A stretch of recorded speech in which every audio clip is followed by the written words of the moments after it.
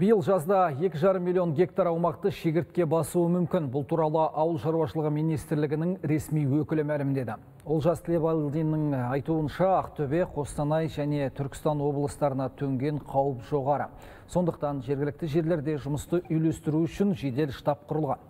Зиянкеспен күреске 427 арнайы техника жұмылдырылған. Барлық аймақтарға химиялық препараттар жеткізілді деді маман.